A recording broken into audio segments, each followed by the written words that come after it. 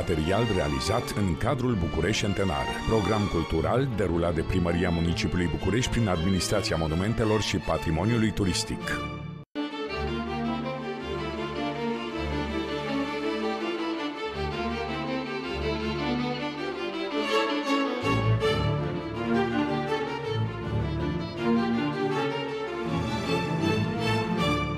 În 1925, o româncă de viță nobilă devenea membru de onoare al Academiei Române. Era prima femeie din România care primea acest titlu. Se numea Elena Văcărescu și era o scriitoare renumită a epocii sale. Această femeie a rămas în istoria literaturii și a jucat un rol important în diplomație n-a fost niciodată despărțită de țara în limba căreia n-a scris. O româncă din cel mai adevărat sânge românesc, care își afirmă cu orgoliu și originea și sufletul românesc. O asemenea personalitate onorează două literaturi.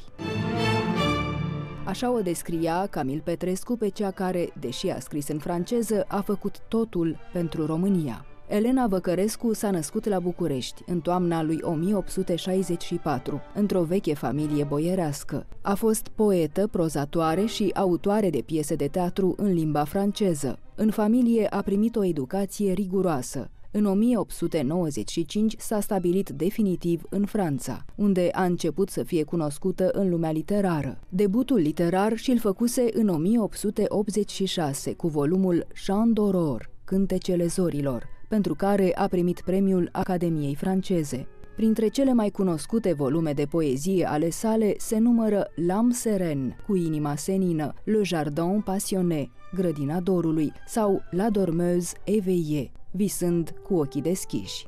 Elena Văcărescu a scris și memorialistică, printre cele mai cunoscute texte aflându-se Le roman de ma vie, romanul vieții mele. Elena Văcărescu și-a dedicat mult timp traducerilor din literatura română pentru a face cunoscute în lume textele scriitorilor români. A tradus în franceză din versurile lui Eminescu, Blaga, Goga, Topârceanu, Minulescu și Vinea. În paralel cu activitatea literară, Elena Văcărescu s-a implicat și în diplomație. În timpul primului război mondial a militat pentru realizarea Marii Uniri de la 1918. În anul următor a fost numită secretar general al Asociației Române pe lângă Societatea Națiunilor pentru o perioadă de 20 de ani. A primit ordinul cavaler al Legiunii de Onoare de la guvernul francez pentru meritele sale. Elena Văcărescu a trăit și a scris la Paris. A primit de două ori premiul Academiei franceze. Se spune că a avut o idilă cu regele Ferdinand, iar această relație ar fi fost dezaprobată de Carol al II-lea. Elena Văcărescu a murit la Paris în 1947 și a fost înhumată în cripta familiei Văcărescu din cimitirul Belu. Această româncă talentată, care și-a promovat țara în Europa, a lăsat prin testament Academiei Române cea mai mare parte a averii văcăreștilor.